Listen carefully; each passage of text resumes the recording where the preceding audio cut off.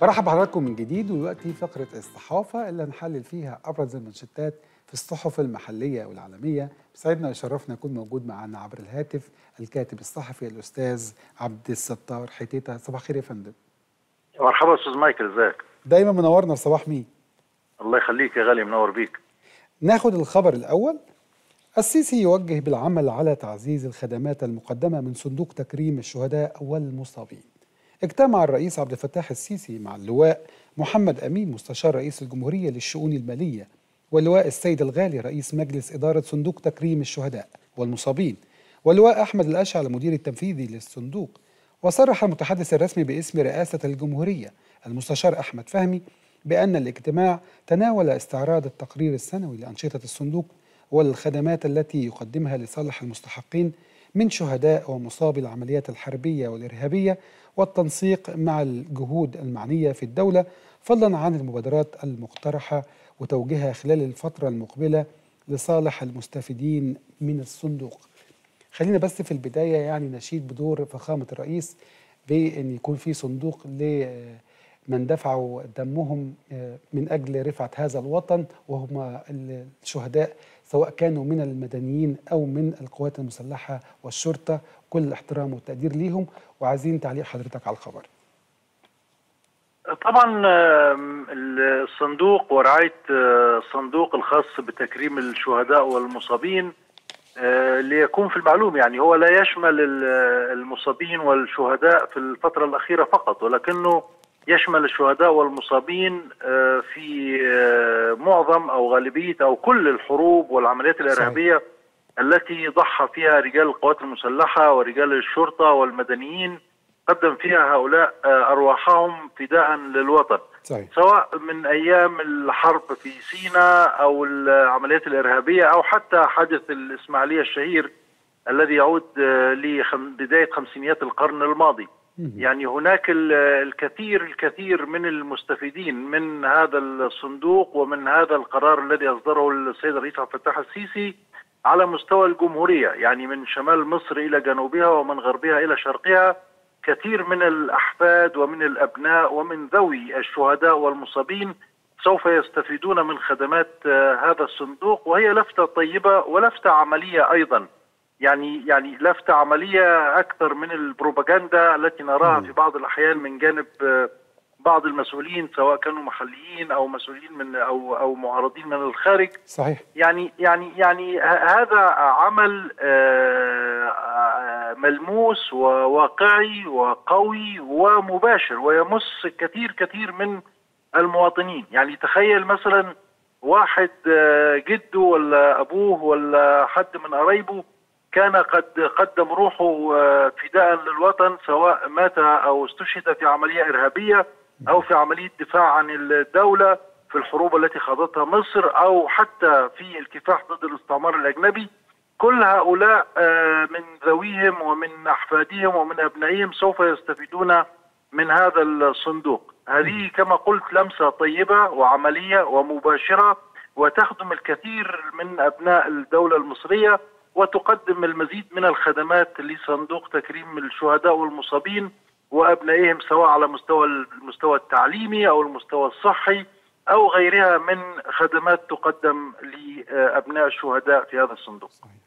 أستاذ عبد الستار برحب بحضرتك مرة ثانية في صباح مين. يا مرحبا يا أستاذة أستاذة مارينا كيفك عاملة إيه الله يخليك. الحمد لله.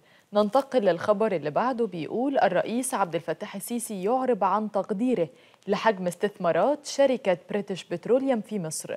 برنارد الرئيس التنفيذي للشركة برنارد لوني استقبل الرئيس عبد الفتاح السيسي استقبله الرئيس عبد الفتاح السيسي بحضور المهندس طارق الملا ووزير البترول وزير البترول المهندس طارق الملا والسيد نادر زكي الرئيس الإقليمي للشركة في الشرق الأوسط وشمال أفريقيا وصرح المتحدث الرسمي باسم رئاسة الجمهورية المستشار أحمد فهمي بأن الرئيس أعرب عن التقدير لحجم أنشطة واستثمارات الشركة البريطانية المتنامية في مصر بما لها من إسهام في عمليات الاستكشاف والإنتاج للغاز والبترول وبما يدعم هذا القطاع بصورة محورية ويعزز جهود تحول مصر إلى مركز إقليمي لإنتاج وتداول الطاقة. مؤكدا الأهمية التي توليها الدولة لمشاركة الشركات العالمية والقطاع الخاص في مجالات البترول والغاز والغاز والطاقة المتجددة. ومن ثم تطلع مصر لتعزيز التعاون القائم مع الشركة البريطانية العالمية وبما يشمل مجال خفض الانبعاثات وتحول الطاقة بالإضافة إلى إنتاج الهيدروجين الأخضر سعيا لزيادة الاستكشافات والإنتاج وتعظيم استفادة الدولة من مواردها الكامنة لصالح الأجيال الحالية والقادمة. إحنا بنتكلم عن شركة بريتش بتروليوم اللي هي تعتبر من أكبر شركات النفط في العالم ومتعاونة مع مصر من 60 سنة تقريباً. فالشركة دي بتخطط كمان الفترة اللي جاية لاستثمارات بتصل ل 3.5 مليار دولار. فإحنا محتاجين نتكلم عن أهمية تعاون مصر مع هذه الشركة وكمان مع آه وأهمية كمان التحول الأخضر الفترة اللي جاية. ما خبيش عليكي في الفترة الأخيرة في السنوات الأخيرة هناك صراع دولي حول موضوع الطاقة. يعني يعني لا أخفي عليك أن هناك بعض الدول تحارب مسألة التحول إلى الطاقة الخضراء وتحارب مسألة التحول بعض الدول إلى مركز إقليمي لإنتاج وتداول الطاقة، يعني تريد أن تستمر في احتكار هذه العملية. وللأسف الشديد يعني بعض الدول هي دول صديقة أو قريبة أو حتى عربية. لكن مصر لديها رؤية دولية فيما يتعلق وإقليمية أيضا فيما يتعلق بالاستخدام الأمثل. طبعا شركة بريتش بتروليوم هي شركة تعمل في استخراج النفط والطاقة الملوثة للبيئة. في السنوات الأخيرة وفي العام الماضي أو أعتقد في الشهور الماضية مصر استضافت أو نظمت المؤتمر الدولي للمناخ. وهذا المؤتمر طبعا يهدف إلى تقليل الانبعاثات وتقليل استخدام الطاقة غير النظيفة والتحول إلى الطاقة النظيفة. طبعا مسألة كهذه تحتاج إلى فهم عالي ومسؤولية تجاه المجتمع البشري بشكل عام وتجاه المجتمع المحلي لأن ارتفاع درجة الحرارة في الأرض يؤدي إلى مشاكل في أماكن مختلفة من العالم حتى لو كانت الدولة المتضررة ليست سببا في ظهور الانبعاثات الحرارية ورأينا حرائق خلال هذا العام في هذا الصيف في إيطاليا وفي تونس وفي الجزائر وفي اليونان يعني حرائق بسبب ارتفاع درجة الحرارة وأعتقد كما يعتقد كثير من الخبراء المختصين بأن ارتفاع درجة الحرارة سببه هو تلوث كوكب الأرض. لهذا مصر حين تتعامل مع بريتش بتروليوم أو غيرها من الشركات الكبرى التي تعمل في مجال الطاقة تضع نصب عينيها المقررات الدولية والمقررات الإنسانية بشكل عام الخاصة بتقليل الانبعاثات لحماية كوكب الأرض. هذا يتطلب طبعا تعامل خاص مع هذه الشركات محاولة لإقناعها بضرورة أن تكون عملية الاستكشاف وعملية الإنتاج للغاز والبترول وفقا لإجراءات معينة تؤدي إلى حماية كوكب الأرض يعني لا أخفي عليك أيضا أن التقارير الأمريكية تقول أن كثير من الشركات الكبرى لا تريد يعني لا تريد أن تتخذ الإجراءات التي تقي من كثرة الانبعاثات.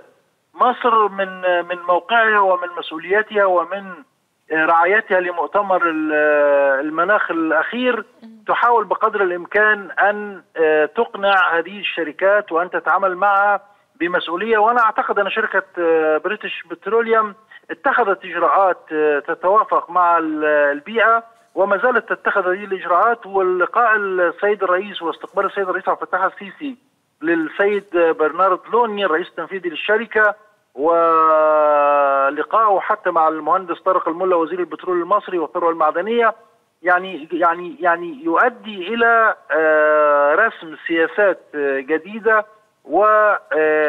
والزام الأطراف المختلفة على ضرورة الالتزام بالمقررات البيئية الدولية فيما يتعلق بتقليل الانبعاثات الحرارية و يعني أنا أعرف السيد نادر زكي الرئيس الإقليمي للشركة في منطقة الشرق الأوسط وشمال أفريقيا هو رجل مرن ومتجاوب ويعني يضع النقاط على الحروف فيما يتعلق بضرورة الالتزام بالمقررات الدولية الخاصة بتقليل الانبعاثات، هذا أمر مهم للغاية وهو في جانب إنساني ومسحة تتعلق بمسؤولية مصر تجاه المجتمع الدولي وتجاه المنطقة وتجاه شعبها في الداخل المصري.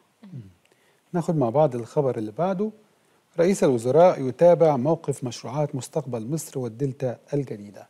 تابع الدكتور مصطفى مدبولي رئيس مجلس الوزراء موقف مشروعات مستقبل مصر والدلتا الجديدة في اجتماع عقد بمقر الحكومة بمدينة العالمين الجديدة بحضور الدكتور محمد شاكر.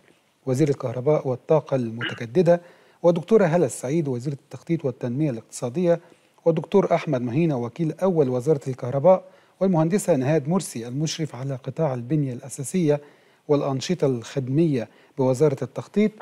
وأكد رئيس الوزراء أن هذا الاجتماع يأتي في ضوء الحرص على المتابعة الدائمة لتنفيذ مختلف المشروعات القومية التي يتم تنفيذها حاليا في مجالات الزراعة وبدل ما يلزم لدفع سير العمل بها مشيرا إلى أنه يأتي في مقدمة تلك المشروعات مشروع مستقبل مصر والدلتا الجديدة التي ستهدف استصلاح وزارة استصلاح وزارة الزراعة نحو مليون 2 مليون فدان ونصف تضاف إلى الرقعة الزراعية. إحنا شايفين طبعا وإحنا بنتكلم عن الدلتا الجديدة ومستقبل مصر وطبعا إن الدولة بتطمح إن يكون عندنا اكتفاء ذاتي بالنسبة للزراعة وبالتحديد في القمح. طبعا نظرا للأمور اللي بنمر بيها العالم كله بالنسبة لاستيراد القمح من أوكرانيا وروسيا وأيضا السودان. وفكرة كمان السعي وراء أن يكون في دايما بدائل والإستثمار وزيادة الإنتاج بالنسبة للأمور الزراعية. تعليق حضرتك. وخليني في البداية أقول لك إن يعني أنا كما أحب رعي الغنم بصفتي رجل بدوي أحب أيضا الزراعة. واحيانا يكون لديك مثلا حوالي 20 فدان أو 50 فدان مزروعين بالزيتون أو بالتين. ويكون عندك 50 أو 60 شجرة يعني في مساحة صغيرة للغاية مصابين بأمراض معينة فيهم مشاكل ماء الميه ما بتوصلهمش اصابهم ميكروب فبدأت إن أنت تحاول التخلص منهم أو معالجتهم يعني يعني عزلتهم عن بقية المزرعة. ممكن يجي واحد يعني مش عايز لك الخير وعايز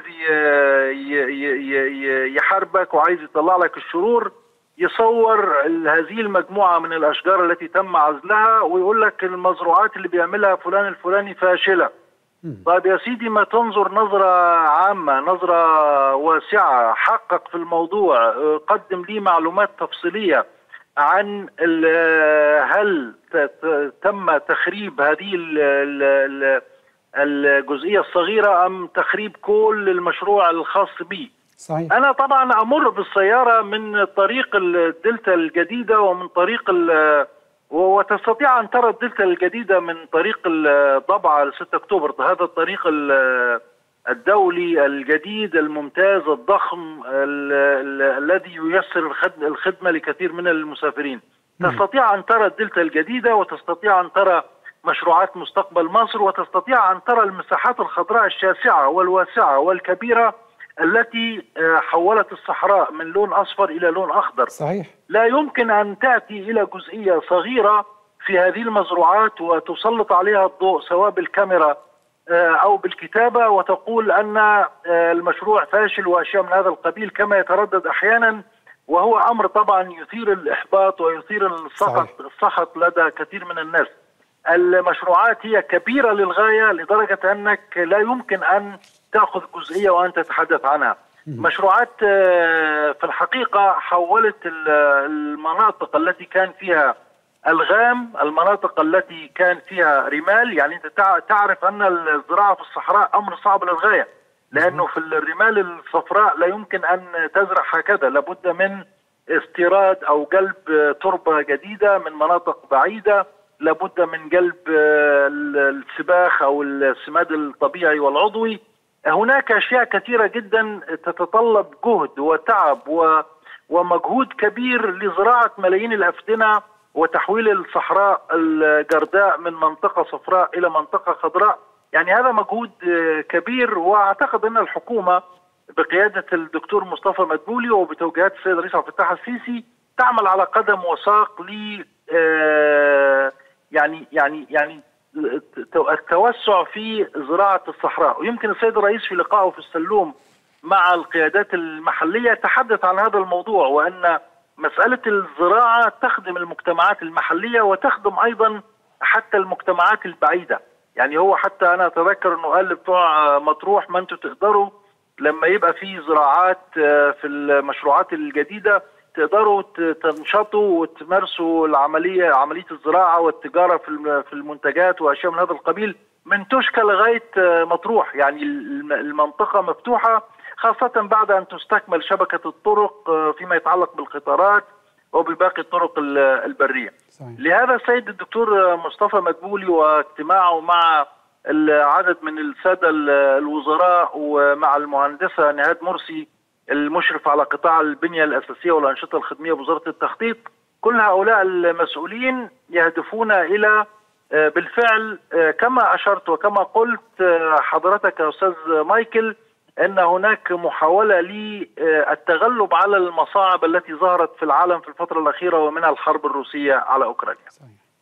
ننتقل للخبر اللي بعده وهو خاص بالاستعداد للمدارس. تابع دكتور مصطفى مدبولي رئيس مجلس الوزراء خلال اجتماع مع دكتور رضا حجازي وزير التربية والتعليم عددا من ملفات عمل الوزارة بمقر الحكومة بمدينة العالمين الجديدة. في مستهل اللقاء أكد وزير التربية والتعليم حرصه على متابعة جهود هيئة الأبنية التعليمية في تنفيذ خطة صيانة المباني المدرسية وجاهزية المدارس استعدادا للعام الدراسي الجديد وذلك لتحقيق أعلى معدلات الأمن والسلامة لطلاب المدارس والعاملين بالمؤسسات التعليمية كافة مشددا على أنه تم التوجيه بضرورة الانتهاء من جميع أعمال الصيانة لكل المباني التعليمية على مستوى الجمهورية واستبعاد المدارس التي تخضع لخطة صيانة شاملة وسرعة توفير أماكن مناسبة بالمدارس القريبة منها لحين انتهاء من حين الانتهاء من أعمال الصيانة الشاملة لهذه المدارس. تعليق حضرتك على هذا الخبر. طبعا يعني أريد أن أشير فقط إلى أن اجتماع الحكومة في العالمين الجديدة يعني لا ينبغي أن يمر مرور الكرام، العالمين كانت منذ سنوات قليلة منطقة خطرة للمرور فيها، يعني حتى لما تمر بالسيارة أو أو على دابة أو على قدميك أو هناك هاجس بأنه يمكن أن ينفجر فيك لغم. يمكن أنا كنت من من شاهدوا الفترة التي كانت فيها العالمين منطقة صعبة للغاية منطقة ألغام منطقة لا يمكن السير فيها. تحولت اليوم إلى مدينة وإلى مناطق زراعية وإلى مناطق سكنية وإلى مشروعات صناعية. فيها الكثير من ال... والترفيهية والسياحية أيضا. يعني فيها الكثير الكثير من ال... ال... الأشياء التي تقول أنه لم تكن هناك ألغام هنا. لا في الحقيقة كانت هناك ملايين من الألغام تحت الأرض وفي منطقة العالمين وبسواعد المصريين أمكن إزالة كل هذه الألغام وفتح باب جديد للاستثمار. يعني أنا فاكر زمان كنت عامل كنت مراسل صحفي لإحدى الصحف الدولية وبعدين رحت جوه العالمين عشان أشوف المواطنين المحليين. وسط الألغام. فاضطريت إن أنا أركب حمار لأن بتوع السيارات قال لك لا ما نقدرش نمشي في المنطقة عشان خايفين من الألغام. فحد من المواطنين صورني وأنا راكب الحمار وبعتها للجورنال ونشر التحقيق الصحفي وأنا راكب الحمار. فقعدوا فترة طويلة يتريقوا ويقول لك مين المراسلنا اللي راكب فوق الحمار ولا الحمار نفسه. فالعالمين أنا ليا مع سنين طويلة وحين أراها اليوم خالية من الألغام وفيها اجتماعات للحكومة وفيها مزروعات وفيها مشروعات خاصة المشروعات السياحية فهو أمر مصدر فخر كبير. أن تجتمع الحكومة وأن تبحث مخططات الدراسة للعام الجديد في العالمين الجديدة أنا أرى أنه موضوع مركب ويتكون من شقين. الشق الأول الذي أشرت إليه وهو المعاناة والمكابدة التي قام بها المصريون وعلى رأسهم طبعا الجيش المصري لأن الجيش المصري هو من كان يقود عملية تنظيف العالمين من الألغام. والشق الثاني هو الشق الخاص بما أصبح اليوم ما أصبحت اليوم تقوم به الحكومة انطلاقا من المقرات الموجودة في العالمين وهي تثبت قدرة المصري على تغيير الواقع. اجتماعات السيد رئيس الوزراء مع وزير التربية والتعليم للاستعداد للمرحلة الجديدة. طبعا المرحلة الجديدة تأتي في ظروف اقتصادية كلنا نعرفها هي ظروف صعبة للغاية وعملية شراء الملابس والكتب ودفع المصاريف وغيرها من تفاصيل تحتاج في الحقيقة إلى وقفة من الحكومة وتحتاج إلى تنبيهات مبكرة من الحكومة بأنه غير القادر لابد أن يتم إجراء دراسة بشكل عاجل وسري لأحواله وأحوال أسرته. الدولة لديها القوانين والتعليمات والتوجيهات بان غير القادرين يستمروا في الدراسة والجهات الخيرية المختلفة سواء كانت رسمية أو غير رسمية تقوم بسداد المصروفات بالنيابة عنهم. الكثير من التفاصيل الأخرى التي تتعلق بجاهزية المدارس هناك مدارس ما زال فيها عمل تحتاج إلى إن الحكومة تتخذ إجراءات مبكرة وهو ما قام به السيد مصطفى مدبولي مع السيد وزير التربية والتعليم أن تتخذ إجراءات مبكرة لنقل التلاميذ إلى مدارس أخرى وهي بالمناسبة يعني ليست كثيرة هي قليلة وموجودة في بعض المناطق على مستوى الجمهورية. غير ذلك الاستعداد لفتح المدارس هو أمر ضروري للغاية وتناقش فيه السيد الدكتور مصطفى مدبولي مع السيد وزير التربية والتعليم الدكتور رضا حجازي وأعتقد إنه بمجرد ما تبدأ العملية الدراسية هذه السنة سوف نرى يعني انفراجة كبيرة ووضع مختلف عما كان عليه في السنوات الماضية.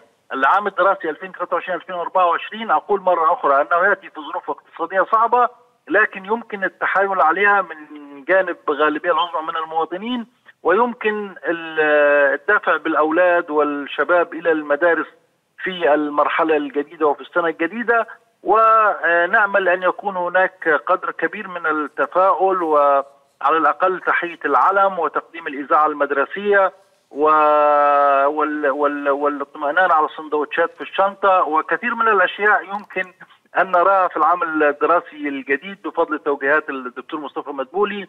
والدكتور والدكتور رضا حجازي فيما يتعلق بالاستعداد للعام الدراسي الجديد. ناخذ مع بعض الخبر الأخير وفيما يخص الحرب الروسية الأوكرانية ديمتري روسيا تزود نفسها بجميع أنواع الأسلحة وبكميات تجاوزت الاحتياجات الحالية. أعلن نائب رئيس مجلس الأمن القومي الروسي أن بلاده تزود نفسها بجميع أنواع الأسلحة وبكميات تجاوزت الاحتياجات الحالية لقواتها المسلحة.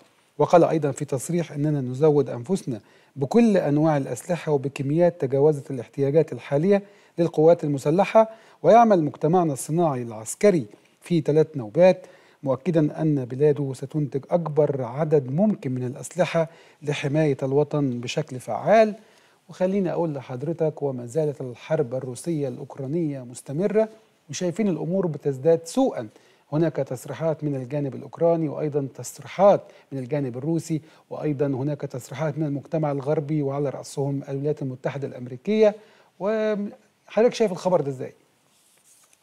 والله غالبا ما قاله السيد ميدفيديف نائب رئيس مجلس الأمن القومي الروسي عن إنه بلاده يعني تزود نفسها بكل أنواع الأسلحة وإنها جاهزة والمصانع شغالة وهذا الكلام أعتقد أنه كلام يغلب عليه الطابع السياسي والرد على التصريحات الغربية خاصة من جانب الولايات المتحدة الأمريكية ومن جانب بعض الدول الأوروبية المشجعة لأوكرانيا. يعني يأتي للرد عليها فيما يتعلق بعملية التسليح، عايز يقول إن إحنا ما عندناش مشكلة في التسليح لأنه طبعا في الفترة الأخيرة خاصة بعد بعض اللقاءات التي أجراها الرئيس بوتين الرئيس الروسي بوتين مع بعض الأطراف في المنطقة يعني في الإقليم في آسيا بالذات مع الصينيين مع كوريا الشمالية مع الإيرانيين وغيره يعني أصبحت تشير أو تستخدم لدى الغرب بأن الروس لديهم مشكلة في إمدادات السلاح خاصة الطائرات بدون طيار والذخيرة واشياء من هذا القبيل. السيد ميدفيديف يريد أن يرد بشكل قوي بأنه بلاده ليست في حاجة إلى الاستيراد أو ليست في حاجة للاعتماد على الآخرين، لديها مصانع قادرة على أن تزودها بكل أنواع الأسلحة وبكميات تتجاوز الاحتياجات الخاصة بالقوات المسلحة الروسية، لكن أنا أعتقد أن استمرار الحرب هو مكلف للغاية ومجهد حتى للدولة وللشعب لأنه كل يوم المصانع محتاجة أنها تنتج ذخيرة من مختلف الأنواع. وتنتج معدات حربية وتطور أيضا ويعني يعني مسألة صعبة للغاية. مسألة أن تستمر في حرب كل هذه الشهور يعني أنت لست مجموعة دول مثل حلف الناتو. أنت دولة روسية كانت إمبراطورية في الماضي لكنها اليوم أصبحت دولة مثل أي دولة صعب فيها أن تعمل على مدار الساعة لإنتاج كميات من الأسلحة ومن الذخيرة لمواجهة الحرب. ما زلت أقول أن الأمر يتطلب الدخول في عملية سلام مرحلة سلام مرحلة حوار مباشر. وأنا أعتقد أن المسبب الرئيسي هو مسبب اقتصادي بالأساس.